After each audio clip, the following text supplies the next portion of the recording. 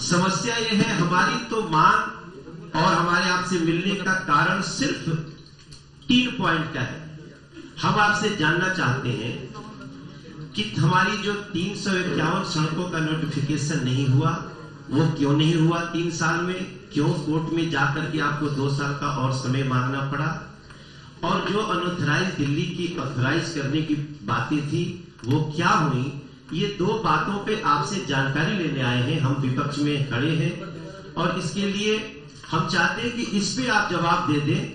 जहाँ तक एलजी से मिलने का सवाल है, हम जब चाहते हैं तब मिलते हैं और आपसे बात करने के बाद हम उनसे भी मिलेंगे। हम इस देश की सारी एजेंसियों से मिलना चाहते हैं जो दिल्ली के लोगों की समस्याओं को दूर कर सके। और हम आपसे ये भी प्रार्थना करने आए हैं कि इस मुद्दे पे भी आपको एक सेशन बुलाना चाहिए विधानसभा का जिसपे स्पेशली इसी की बात हो। और हमें आप बुला लीजिए हमारे सभी सांसद मेयर भी हमारे सभी एमएलए तो खैर रहते ही हैं। हम लोग बैठ करके वहाँ बहस करने को तैयार हैं।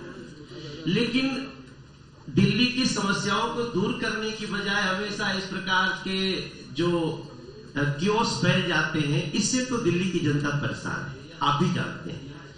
आज यहीं बैठ के सारे मीडिया के सामने एक एक एक एक जो भी सीलिंग के मुद्दे हैं एक एक मुद्दे पे चर्चा होती जाए रेस्पॉन्सिबिलिटी बांटते जाए कि भाई ये तुम कर लेना ये हम कर लेंगे ये तुम कर लेना ये हम कर लेंगे।